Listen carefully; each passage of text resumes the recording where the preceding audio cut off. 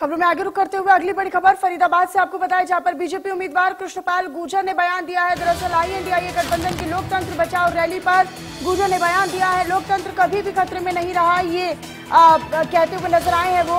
आगे उन्होंने अपने बयान में कहा विपक्ष का अस्तित्व खतरे में है पीएम मोदी के सामने मैदान खाली है। यानी मैदान में कोई चुनौती पीएम मोदी के सामने नहीं है ये उन्होंने साफ़ कर दिया है।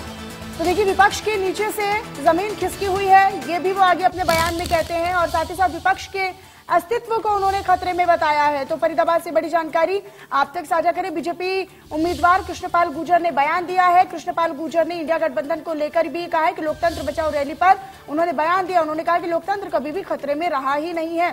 पीएम मोदी का उन्होंने ज़िक्र किया। उन्होंने कहा कि पीएम मोदी के आगे तो चुनावी मैदान खाली है।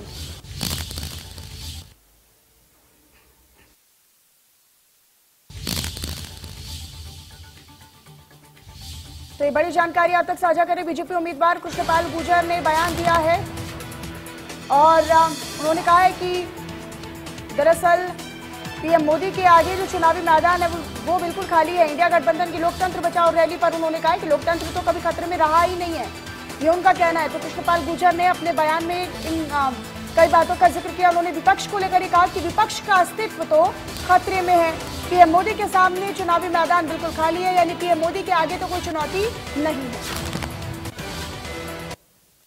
लोकतंत्र नहीं विपक्ष का अस्तित्व खतरे में है। वो अपनी इज़्ज़त बचाने के लिए ये रैली कर रहे हैं। लोकतंत्र तो देश में ना सदियों से ना कोई खत्म कर पाया, ना कोई खत्म कर पाएगा।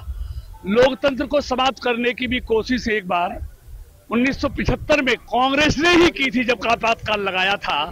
लेकिन तब भी ये देश के लोकतंत्र को समाप्त नहीं कर पाए थे। लोकतंत्र तो हमेशा इस देश में रहा है और रहेगा। लेकिन अब विपक्ष का अस्तित्व खतरे में है। वो बिल्कुल ज़मीन पर लेटे हुए हैं। इसलिए अपना अस्तित्व बचाने की तरह इस तरह ओछे हथकंडे अपना रहे हैं।